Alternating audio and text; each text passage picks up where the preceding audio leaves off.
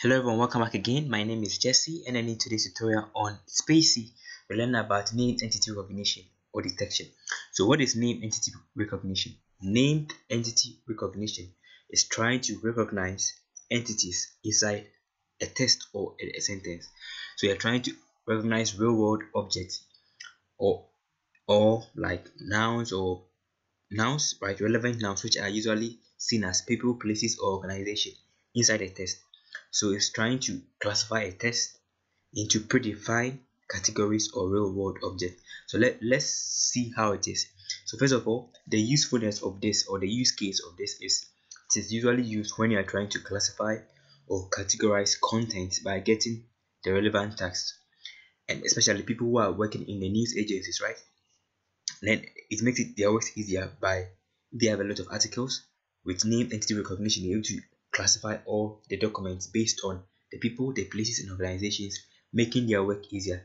The same way, it can also be used to improve search algorithms and then also to be able to help build content recommendations. Since you're able to identify entities in a text, you'll be able to put them all together and then make it easier to be able to retrieve them, right? Now let's see an example, which is quite simple. So we start our spaCy, import spaCy, and then initialize create an NLP object. So after that let's give it a simple the sentence that we have. This is not simple anyway. So a simple wiki test. So let's create NLP a normal object. So perfect. So this is the sentence. The sentence is that by 2020 the telecom company orange will, will, will relocate will relocate from Turkey to Orange County in the US close to Apple. It will cost them about what, $2 million. Now let's try to analyze the sentence and extract all the entities from this.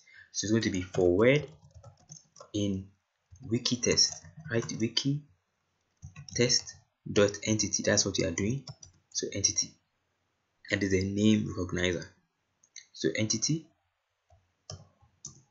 we go with print word dot test for our tokens and then word dot label. If you go it like that it's going to give us the hash value. So that it's, it's just being to extract all the entities inside it recognize them accordingly. But we want the string of the representation right? Okay. So you see that 2020 is a date which is actually true. turkey is a GPE so like which is what does GPE you don't understand. So you just go with spaCy dot explain then you just go with GPE to tell us that countries, cities, and states are the geopolitical environment, right? So countries, cities, and state. So it's able to extract that this tech here is not the chicken. It's not it's not the father of a chicken or the the the, the animal, the bird chicken, but it's rather a country. Orange County is not orange like the fruit, but it's rather a GPE, that is a geopolitical environment or a country or city or state. US2 is also so able to identify all the entities and and classify them accordingly. So this works this thing makes your work quite easier. So there's one nice thing about this, you can also be able to plot this one with from you're going to plot it in a nice way to see it. It's quite simple. So it's going to be from spaCy import display right display perfect so from from that just going to display c dot render because we are running it inside our jupyter notebook. If it was in any ede ide or your normal repo it's just going to be save right? But because this one is inside a, an already saving browser you just go to render. Then we're going to pass in our sender that we want to analyze a wiki test right? Then the style we're going to choose is we're going to choose a, a style is going to be ent which is going to be for our entity. So the next thing and you go with jupyter is called true. So perfect let's analyze and see. Now you see that that's analyzed perfectly which is quite simple and quite easier. So 2020 is a date. The telecom uh, relocate Turkey is is a country. Orange County is also a country. or geopolitical environment GPE. I don't know what the E stands for anyway. So US is GPE. Apple is an organization, but it's not a fruit. Turkey is not an animal, and the twenty dollars is money. So it's very very easy and it's very very powerful. Okay, now let's see another sentence that we can also do. I have another sentence here, right? Which is going to be a sentence which I took from Wikipedia about Linus Torvalds. So you can just analyze the same thing, and when you go through it with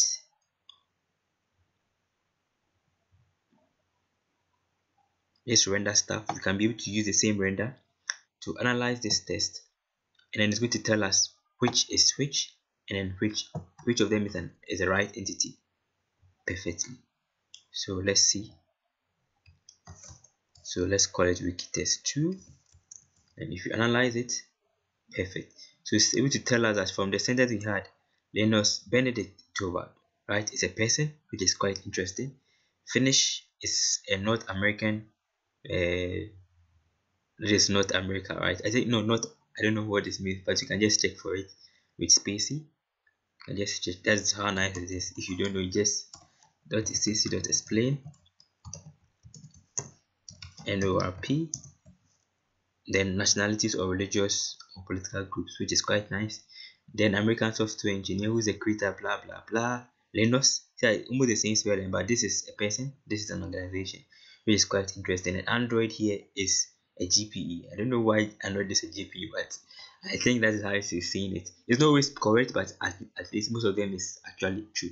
So that's one way of using this named entity recognition inside spaCy there's one thing that you can also do sometimes you can just create something that is quite easy. It's able to use logic right to be able to do it. So let's give it a simple example. So let's call it as my es let's call it a different example. So doc one then we're going to call it as nlp i'm going to use something quite simple for you to know.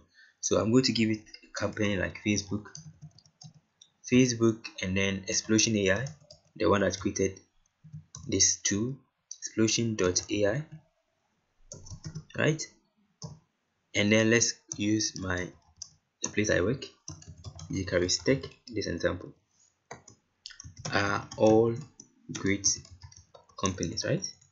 They are all let's say internet companies. Companies. Let's make it like that. It's just an example. So if you analyze this test with this 10 you can just use this one to analyze it. It's going to be able to recognize some of them and then give us the right entity of it. So doc one. Perfect. See that able to recognize that facebook's an organization. JCharis tech is also an organization. I don't know why this one they give us but let's make it like this. Explosion. Let's try it and see whether it will be able to recognize it. I'm surprised it's not recognizing it. Okay let's go with this. And let's see okay perfect. So now it's now is able to recognize that this is an organization explosion ai is an organization and JCharis tech is also an organization which is quite interesting. So thank you for watching this tutorial. If you have any question or contribution can just put inside the comment section so that everybody can benefit. Please don't forget to subscribe. Stay blessed